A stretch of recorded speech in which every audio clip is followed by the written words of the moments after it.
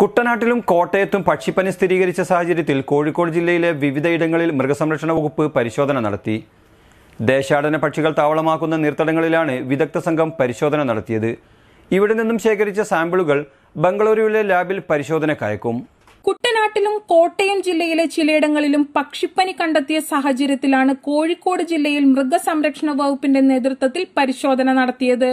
കടലുണ്ടി അന്നശ്ശേരി എലത്തൂർ മാവൂർ എന്നിവിടങ്ങളിലാണ് കോഴിക്കോട് ജില്ലാ ജന്തുരോഗ നിവാരണ പദ്ധതി കോർഡിനേറ്റർ ഡോക്ടർ കെ കെ ബേബിയുടെ നേതൃത്വത്തിലുള്ള സംഘം പരിശോധന നടത്തി സാമ്പിളുകൾ ശേഖരിച്ചത്.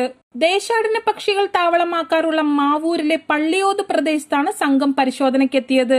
ദേശാടന പക്ഷികളെ കണ്ടെത്തിയ സ്ഥലത്തു നിന്നും സംഘം സാമ്പിളുകൾ ശേഖരിച്ചു. ഇവ ബംഗളൂരുവിലെ സദേൺ ഡിസീസ് ഡയഗ്നോസ്റ്റിക് ലാബിലേക്ക് അയക്കുമെന്ന് സംഘത്തലവൻ ഡോക്ടർ കെ കെ ബേബി പറഞ്ഞു.